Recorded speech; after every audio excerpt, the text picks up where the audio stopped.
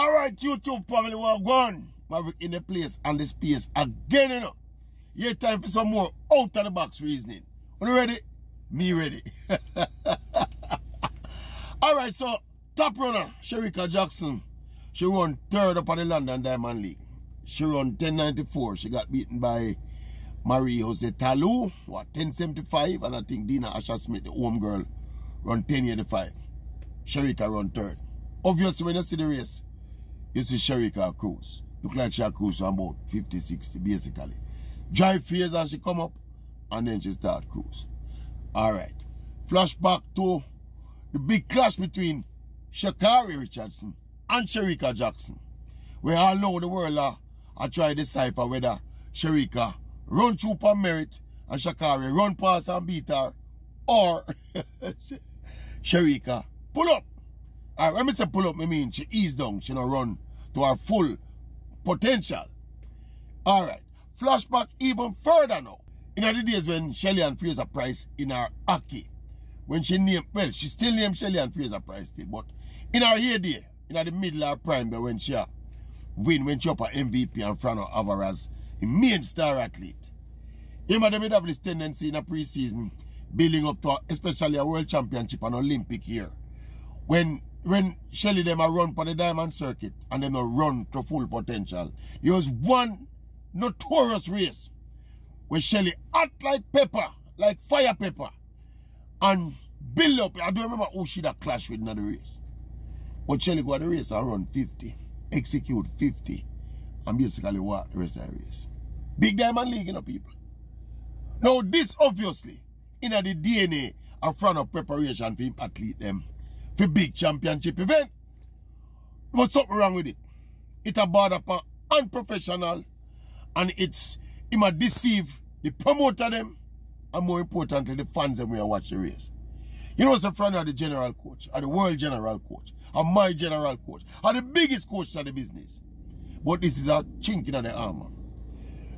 Look here, when people pay their money, and you know, since the incident here, me go do some research on the Diamond League ticket prices them in Europe. A 75 and 65 and, and them pound for a ticket to go watch them race, you know. You have some some cheaper ticket, but generally 65, 75, 80, 80 pound for a Diamond League ticket. You, you, you when, when you do so and, and calculate at about 12, 15, nearly 20,000 Jamaican. You have idea what the ticket price them cost. Now me as a fan of track and field now, me not have no interest, well, me have my interest, but me not, me, me not coming for watch the World Championship final, you know. Me not coming for watch the Olympic final, you know. Me not coming for watch a training session of Franno and him big athlete, them a prepare for the World Championship or the Olympic Games. Me come for watch a Diamond League race as promoted. And we expect every runner to run to merit. Now, me put it to you. Say something wrong. If, especially, you know, when he's a top flight athlete, you know, big hot runner, you know, favorite, you know. You top of the bill in, in terms of the promotion, you know. And when me as a fan, whether me I watch it on my TV, but what's pure thought for the one who pay the money and go in and stadium go watch it. The man, I mean, we watch it on them TV, we have we have a problem with it you know. But me that me pay my money going to the stadium to go watch these people. Eh? I'm an athlete I run 30 and 40 meters and stop and run 80 meters and, and shut down. No! And that me pay my money for. That is unprofessional if you ask me. I mean, from have to do what him have do, you know.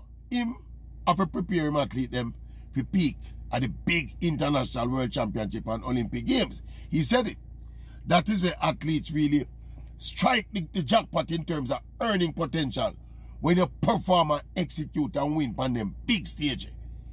But people, it's a separate event when me pay to go watch the London Diamond League or the, the Diamond League in a Stockholm or any one of the Diamond League circuit them. When me pay my cable money to get my TV put on so that me can watch the Diamond League, me don't watch it for, for see Shelly run 50 meter or for watch Shericka run 75 and chuckle. Me watch me watch it for see the clash. Yeah, me think it about upon fraudulent.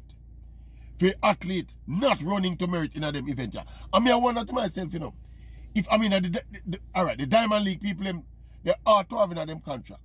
Say if an athlete don't run to potential, you know, you, you get half of your money or something like that, you know.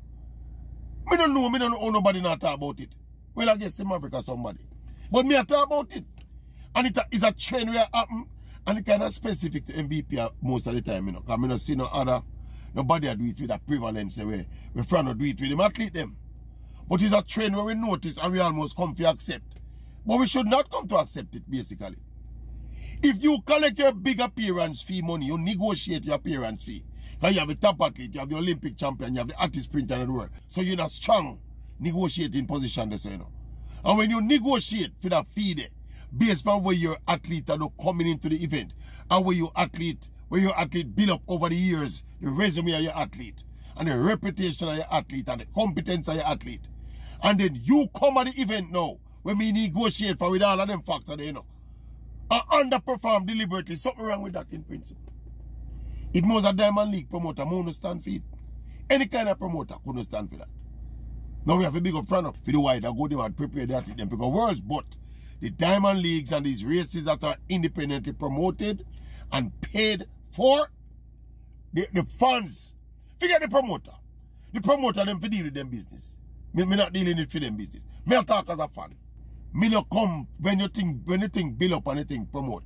And me come to watch my race between Sha'Carri and Shericka. Me no come to see none of them underperform and I play possum. And me I say, on the face of it, what is happening here is bordering on fraudulent. Think about we the fans.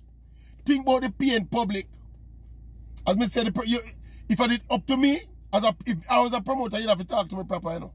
Because me restructure a contract before me say anything, you know. If you don't come, if me can make a case, say the athlete don't run to merit, me suppose he can get back half of my money. Yeah. Because me assign you under the, not the assumption, me assign you with, with, a, with a mandate, with an obligation, say your athlete are perform to merit. You get what I say to you? Yeah, man, this is bothering on. Me, me don't know. Me, me think it's insulting too. It's insulting and it's arrogant. And me think that's something we need to fix. We, so, well, at least we, we first need to acknowledge it. And we need to talk about it. So I talk about it. Because something they clear in front of you. Know. And as, as, as me said a while ago, we are come to accept it as the norm too long. When you look at the two most recent races, the one with Shericka and Sha'Carri, the 1078, 1076. Yeah, because the time them so relatively close, it's hard to, to tell definitively, say, yo, you know, that that that the run through, you know, that the Shericka and run through, you know, Shericka ease up, you know. When you look on the one up in London now, 1094, but will look like a fast track. It look like a fast track, you know. 1094 on the track with Ta Lou around 1075. If Shericka run flat out at 106, Shericka run. And that one is more obvious. Because you can see the ease up. I, you can see the lack of effort when the rest of the field join her. You can see she just back off and just stay so. I mean, no. We know the last diamond. This is the last diamond before the World Championship. You know, mind games a player execute particular parts. We know the preparation jargon, you know. Remember, see something we have seen over the years with friends, you know. We understand the principle, you know, how we go on, you know. But there's another angle to it. Fans are being cheated, my boss. And if I might say so myself, promoters are being cheated. I remember say it's not Jamaican fans probably will be a little bit more tolerant of it, you know. Because we appreciate the value of friend doing this with a means to an end. For them peak and bomb at the right, the big race and them and the but what about the other fans that we not Jamaica fans? People who are track and field fans. Where the, the, the, the wider strategy there, no matter to them either way, them just come to see the passes run in the, in the world. Run! Them come to see the artist sprinter in the business run and run through to merit. What do you say? Talk to me, YouTube family. Valid point or not so valid point? In fact, forget about that. Nobody can convince. This is a valid point. Yeah? Tell me what you think in the comment section. A real thing. Think out of the box. You don't have to think far out of the box to recognize it. But at least we are name it and we are identified and we are